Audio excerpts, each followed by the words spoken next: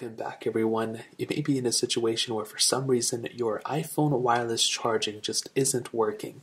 Maybe you're putting it on a wireless charger and for some reason it's not compatible or whatever. And the very first thing you want to do is make sure you have an iPhone that is actually capable of wireless charging.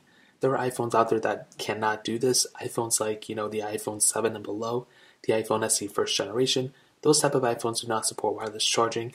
If you have an iPhone from 2017 onwards, then those do support wireless charging. So keep that in mind. That is essentially the very first thing you're going to have to look at.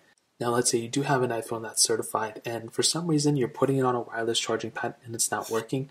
Then, what I would recommend doing is making sure I would recommend actually taking off any cases that you have. So, I have a case right here.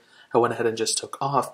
And what I typically do is I just go ahead and leave the case off if it's my first time wireless charging and it's not working and then I will go ahead and try charging it again. Sometimes if you have a wireless charger that's extremely like outdated or extremely old, even if you have a case on it, it's not that good of it. It's kind of like too far to charge it. If you have a newer one, then it's probably not going to be that big of a deal. But that is essentially the very first thing I recommend doing after all this other stuff. That will probably end up fixing the issue in my opinion. Now let's say you do that and you're still having issues. Well, the next thing I would recommend doing is making sure that the wireless charger you're using is fully compatible, fully capable, and is plugged in and everything. There can be some moments where the wireless charger you're using, again, may not be plugged in, and most of the time, this is not an iPhone issue, it is a wireless charging issue for your specific wireless charger.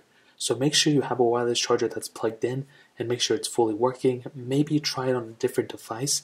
So as you can see on my iPhone, if it doesn't work on my iPhone, maybe I would go and try it with uh, another device, maybe another Android app or something. Any other device that supports wireless charging, I'd recommend you guys to go ahead and try it on there too. So that's essentially it. That's how you do it. If you guys have any other questions or anything, let me know in the comment section below. Hit the like button, that mean so much, but definitely hit that subscribe button. More importantly than everything else, I love every single one of you guys. Hopefully I'll catch you guys in the next video. Peace out till then.